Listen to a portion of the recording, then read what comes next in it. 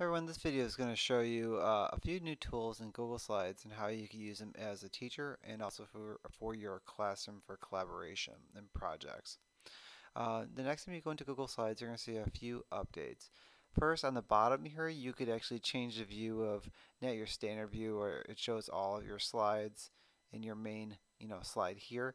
Uh, you can actually click it in a grid view and you could actually zoom out or in as possible. Now, why would I actually want to share that? Well, sometimes when you're presenting or projecting your uh, slides to your students, you may want to be able to kind of compare like two slides next to each other. And if you zoom in enough, you should be able to see a few slides uh, with ease. So that's kind of nice. And sometimes it might be just easier just to be able to click on or double click on a slide to get to it.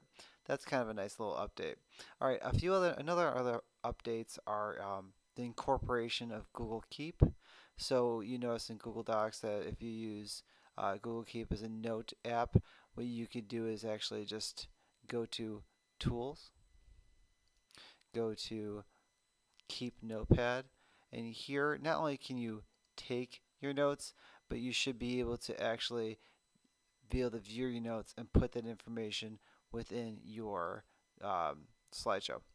All right, another one is really nice, and I, I don't think it, I think it's relatively new. I'm gonna remove this for a second. Let me get rid of this one as well. And this is when it comes to collaboration, um, is that you can now um, use your tools. I'm sorry, you could actually go to insert, and now there's a diagram feature.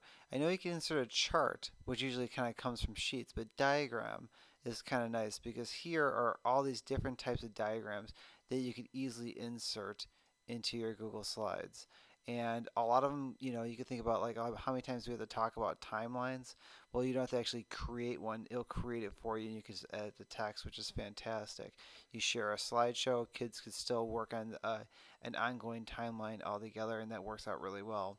Another one that's kind of a thought about from a teacher talking about how to kind of like do a put a topic and have students write about the topic, or you know, you would put like a like a discussion bubble and have you know, you could put something here and then students reply based off that answer as well, which I think is really nice. So if you had like an initial topic for everybody, you could even just make it really long like this.